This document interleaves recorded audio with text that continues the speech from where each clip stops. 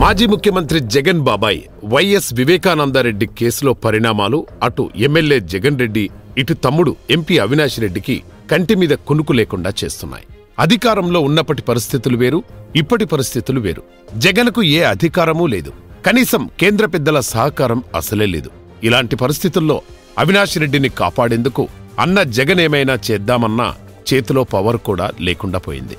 దాంతో MP YS Avinash Reddy బిక్కుబిక్కుమంటూ కాలం గడుపుతున్నారు. వివేకా కేసులో సిబిఐ దూకుడు ప్రదర్శిస్తే ఆ ముందస్తు బెయిల్ను రద్దు చేయించి ఈసారి అవినాష్ రెడ్డిని అరెస్టు చేయించగలదనే ఊహాగానాలు బలంగా ఉన్నాయి. ఈ కేసులో అప్రూవర్గా మారిన దస్తగిరి అనే వ్యక్తికి సిబిఐ కోర్టు ఊరట కలిగించింది.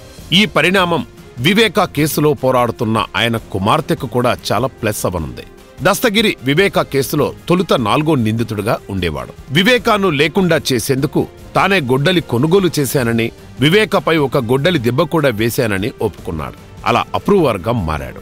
అలాంటి ఇతన్ని నిందితుల జాబితా నుంచి కోర్టు తొలగించింది. నిన్న మొన్నటి వరకు ఈ కేసులో దస్తగిరిని నాలుగో నిందితుడిగానే పరిగణించిన సంగతి తెలిసిందే. తనను నిందితుల జాబితా నుంచి తొలగించాలని పిటిషన్ వేయడంతో దస్తగిరికి అనుకూలంగా తీర్పు రావడం కీలక పరిణామంగా చెప్పాలి. దీంతో వివేక కేసులో కీలక మలుపులు తప్పవంటున్నారు. వివేకా దగ్గర డ్రైవర్గా పనిచేసిన దస్తగిరి అప్రూవర్గా మారాడు. ముప్పై కోట్ల ఆశ చూపి వివేకా కేసులో తనను వాడారని అప్రూవర్గా మారిన తర్వాత వైఎస్ భాస్కర్ రెడ్డి గంగిరెడ్డిలపై దస్తగిరి ఆరోపణలు చేశాడు. ఈ కేసు హైదరాబాదుకు బదిలీ కాకముందే దస్తగిరిని కడప కోర్టు అప్రూవర్గా గుర్తించింది. సిబిఐ ఛార్జిషీట్లో ఇప్పటికే దస్తగిరి పేరును సాక్షిగా మాత్రమే పేర్కొన్నారు.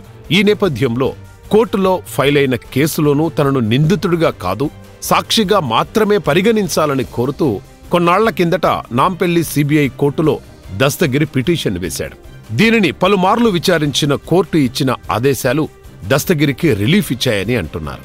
సిబిఐ సైతం దస్తగిరిని సాక్షిగానే పేర్కొనడంతో కోర్టు కూడా దస్తగిరిని సాక్షిగా పరిగణిస్తూ ఉత్తర్వులు జారీ చేసింది. దస్తగిరి సాక్షిగా మారితే అది వైఎస్ వివేకా కూతురు సునీతారెడ్డికి ఎంతో కలిసొచ్చే అంశమంటున్నారు.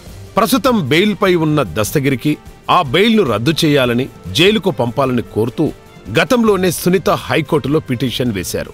అది విచారణ దశలో ఉన్న సమయంలో అసలు దస్తగిరి నిందితుడే కాదని సాక్షిగా పరిగణిస్తూ కోర్టు ఉత్తర్వులు ఇవ్వడంతో సునీత తన పిటిషన్ను విత్డ్రా చేసుకుంటుందని భావిస్తున్నారు.